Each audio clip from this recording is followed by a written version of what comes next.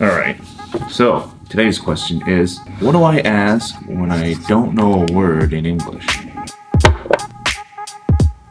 Now, I know this may seem like a basic question to many of you, maybe most of you, but since you will be asking this question probably for the rest of your life, I want to make sure we get this right. For example, if you're watching one of my videos, which you are right now, by the way, thanks for the support. Please like and subscribe when you get a chance. Okay, now enough of that.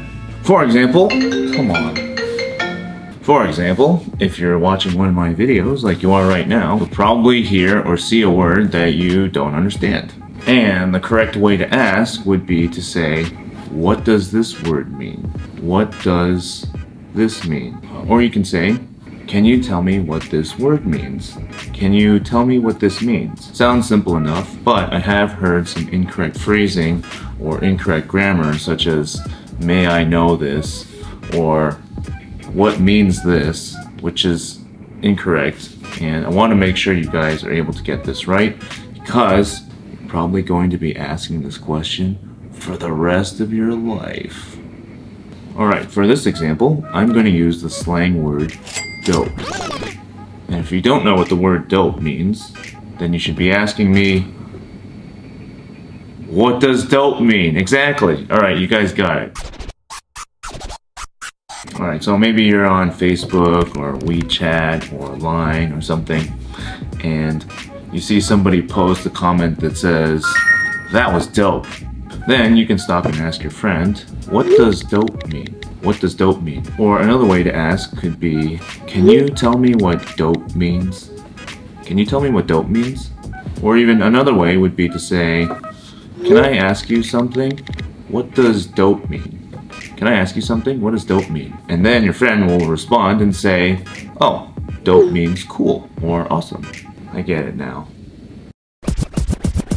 Another situation you may run into, uh, maybe you're chatting with your friend and you're having a conversation and they're talking and talking and then you hear a word you don't understand. What can you say? Maybe you say, oh, I've been learning English for a year now. And your friend says, oh, that's dope. What are you supposed to say? You can stop them and say, oh, wait, what does that mean again? Can you explain that to me? Wait, I didn't quite get that.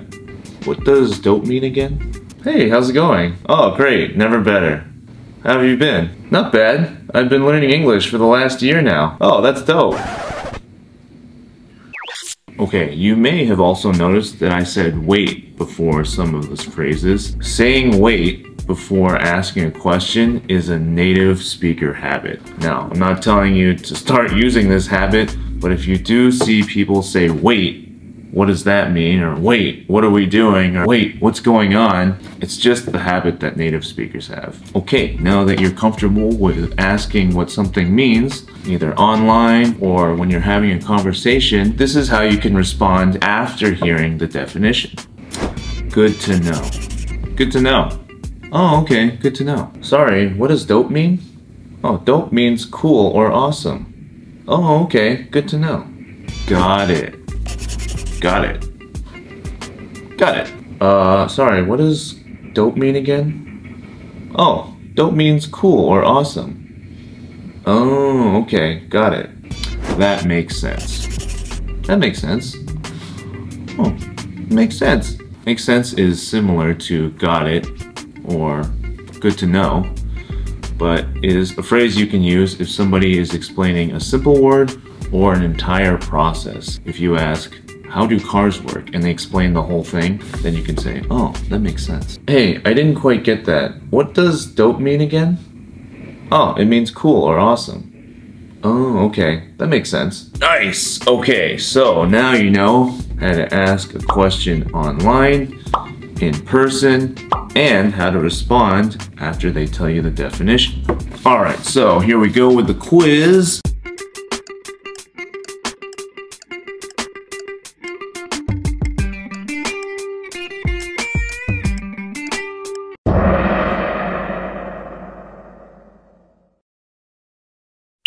Whoa, and before you leave, one last tip. before you go. If you're talking to native speakers, they may not know that you're still learning English. So just tell them, hey, I'm still learning.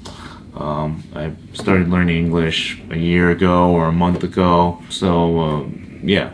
Uh, so, yep, that's all for today. If you have time, please go ahead and check out one of my other videos to help you speak English like a native speaker.